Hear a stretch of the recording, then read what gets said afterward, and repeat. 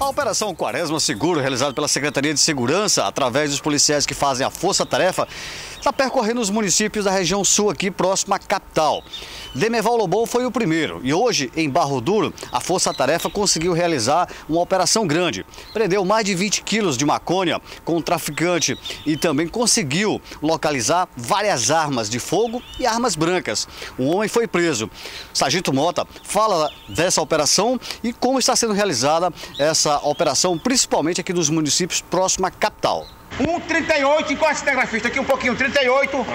A 12, operação 40. Dois tiros, essa 12.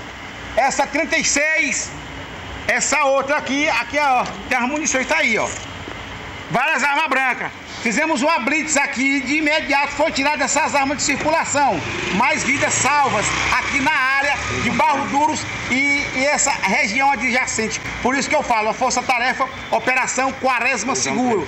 Por que Quaresma Seguro? Se aproximando da Semana Santa e tirando de circulação com fé, foco e verdadeira história é aquela quando você sai para trabalhar, tem que fazer o trabalho que é feito pela Polícia Militar sem medo de errar, dentro da legalidade.